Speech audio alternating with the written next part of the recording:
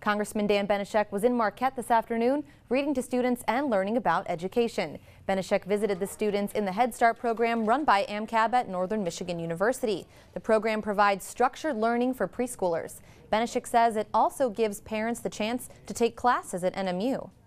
This program here helps uh, young adults here uh, go to school. Uh, they drop their children off here at this facility and they have time then to go to school.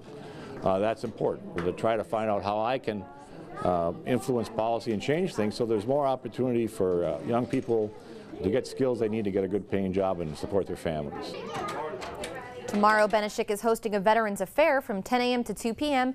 at the Marquette Armory.